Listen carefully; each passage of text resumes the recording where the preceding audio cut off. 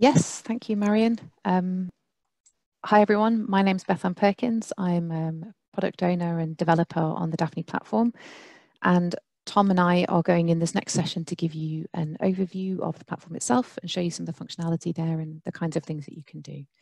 So I'll start sharing my screen. I hope everyone can see that okay. Uh, so to access the DAFNI platform, you will need a login. Um, an anonymous attendee has asked how you can access the data on the platform and this will show you that. Uh, we don't have a registration button at the moment, so in order to uh, receive a login, you will need to contact us. Contacting us is fairly straightforward. Google DAFNI, find our public site, and then at contact, you can send us an email here and we'll discuss with you setting up a, an account on the site. So if we log in, then you will see we have uh, areas for data, models, workflows, and management of assets. We're not going to touch on management of assets at the moment here, but suffice to say that DAFNI is a community platform. And so we are encouraging, strongly encouraging people to get on board and add their own content. Um, and the management assets section is an area where people can um, see who has permissions to their uh, models or data on the platform. Tom is going to cover um, models and workflows uh, in a moment, whereas I'm going to look at the data section here. Um, on the, the developers at the moment, we are working hard and currently are in the final stages of um, a major upgrade to the data service. So what I'm actually showing you here today in the demo is kind of a sneak preview of, um, of that completed service. So this is our um, staging area. Um, and as such, uh, the, we have for fewer data sets in here. So this is our kind of backstage area. And the data sets that we use in, in this instance of the site of the platform is for model development, um, working with pilots, um, working with champions, which is something that we'll discuss a bit later on. Um, but suffice to say, we do have around 800 data sets on our production platform. Um, and Brian will be talking about that a little bit later. So this will be rolled out very, very soon. This is work in progress. Um, and I think serves to highlight the fact that DAFNI is live development. So what we're producing um, is we're currently working and responding to um, the community needs. And so any feedback here and as you hopefully join us and become more involved in DAFNI um, is very, very important for our development. So on the page here, we have um, the data sets that we have produced here on the staging area. We can reorder them, reorder them um, and this page is the hub of the data service, and it's really about supporting users in um, identifying data which is useful to their research, um, which they would like to work with. Um, and there are ways then that they can take that on and continue to work with it on the platform, which Tom will come to. We can have a search bar up here where we can, for example, search for any outputs from a model. And if we scroll down, we'll see the search is updated. Uh, we have quite a lot of outputs of a 5G model is one of the pilots that we're developing on Platnip on DAFNI. And I will click on that as an example of how we're displaying data sets. So a big part of the, uh, the update that we're currently going through is the, a migration from a Dublin core metadata schema to a DCAT version 2 based metadata schema is much more comprehensive and much more extensible, interoperable. Um, and so the metadata that we're seeing up on here is all coming from that um, new schema that we have. We don't currently publish it as linked open data or linked data, um, but in the background, in, in the back end, then we are absolutely supporting that. It's just a question of um, making the links. So here we have some information about the, the model outputs. Um, this number is not great for a demo, but actually will come in useful later. Um, this is one of the things that we're changing. This is actually the ID number of the modeling service. So what this says is this data set was produced by the DAFNI modeling service. Um, and here we have a brief description um, entered when the model was created, um, some information about the spatio-temporal extent of the data, and then the actual data sets towards the bottom, along with some additional metadata for completion and any keywords um, which are used for the search. To access the data, literally click on it in the way that you would click and download any data file in your browser. Coming in the future, we'll have the option of selecting multiple ones and downloading all together, potentially as a zip file. And then up here, we have a bit of information about how to use the data set on the platform. So DAFNI isn't just about holding data, it's about using that data with models, and building up those systems of systems. Um, and so we have uh, some information here. The DAFNI ID is used for this data set throughout the whole platform. License information is provided here as an external link. Um, and at the moment where people are, as part of fair use policy, people are um, adhering to that uh, license themselves. And in time, we're looking at migrating towards um, more DAFNI-based management of licensing. And then at the top here, we have the permissions of the data set. So for each data set, it can be either open access, where anyone with a login can see it, or it might be view only. Um, so the creator would have administrative permissions over it, but may choose that other people could only see the metadata for that data set, but they and they wouldn't then have access to these files themselves. And that's a nice way of showing that you have this data, but maybe you know asking users to come and talk to you a little bit more before you actually share that information with them.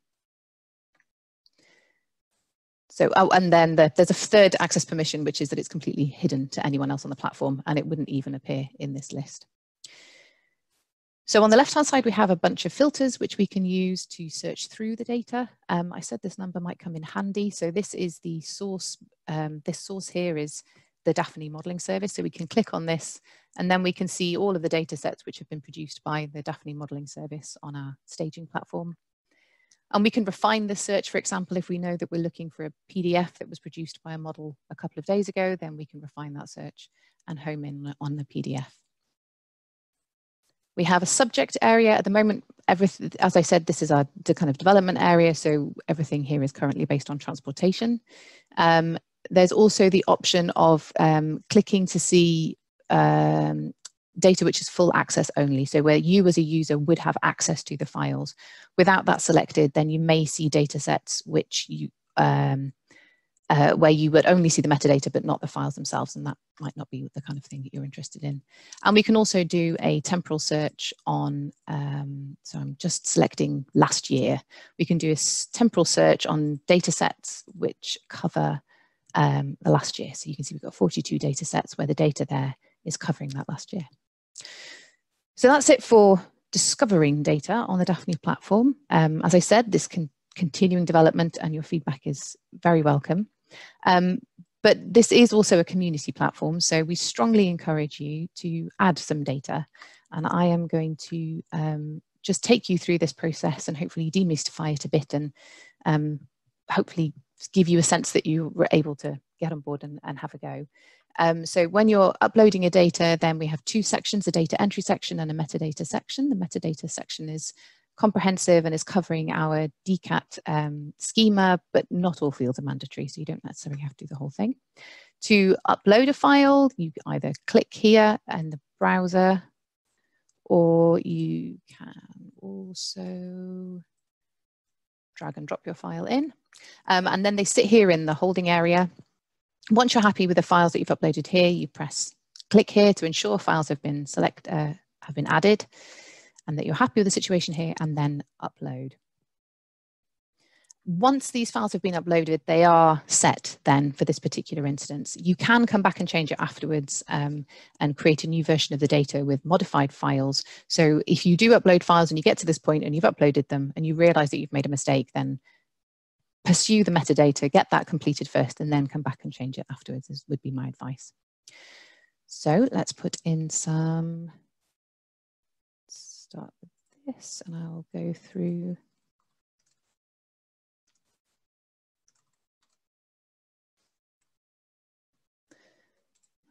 Okay, I will just go through and enter these fields. So identifiers here are, for example, a DOI for the data set. This isn't a mandatory field, but it allows you to link your data to the outside world um, and its existence in the outside world. Um, subjects here are taken from the Inspire top categories um, uh, here and you can find out more about them. Um, let's select biota. And then we have a, another list of themes, again, taken from Inspire themes at the moment, which we can select. So I'll just choose a couple at random. Um, just to say also that with Champions work, where um, at the moment these come from Inspire um, vocabularies, but updating these to become DAFNI specific and infrastructure research specific is an ongoing piece of work um, that's starting up with the champions. Select the language for your data and some keywords. If you wish to, you could add in a standard. So this is if your data conforms to a particular standard and you wish to make that known, then you can put in text for the standard and a, a URL.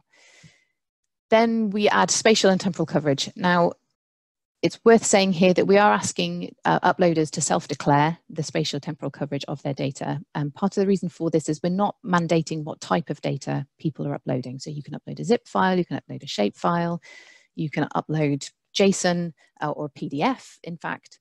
And so uh, we're asking people to self-declare the spatiotemporal coverage of that data. So we are based at FTSC in DIDCOT, not DIDCOT Australia, but DIDCOT UK. And here we're using the GeoNames um, register of uh, locations. So we're linking into that um, uh, vocabulary there.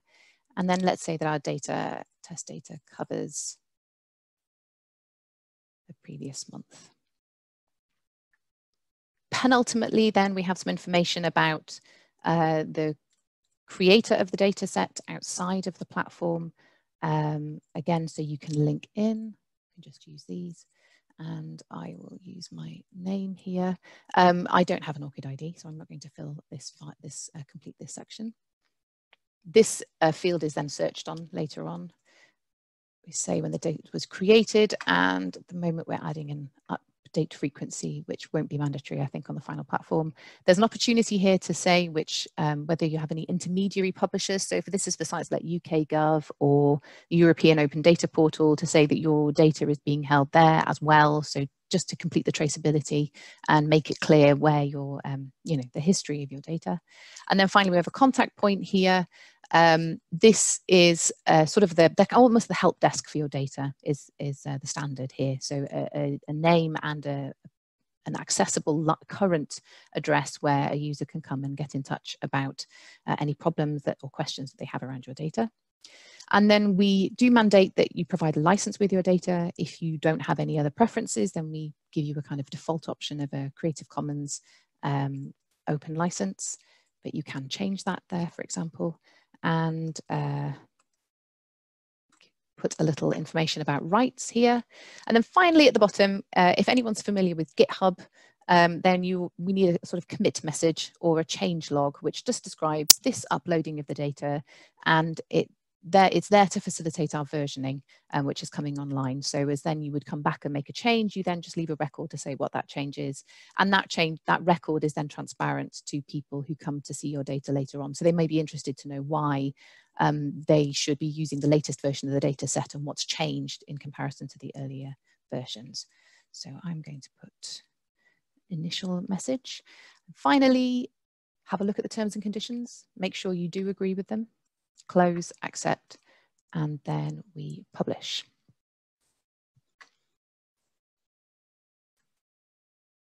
And then we can see the data set at the top here.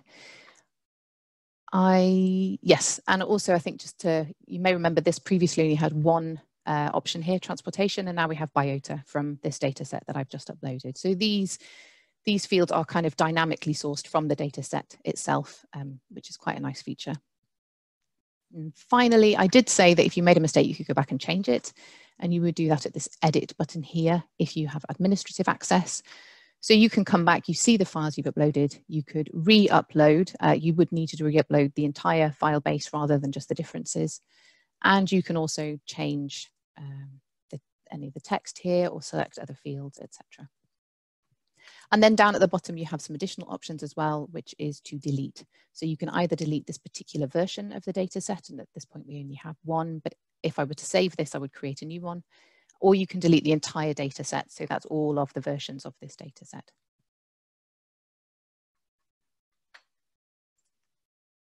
So that I think completes whistle stop tour of the data service.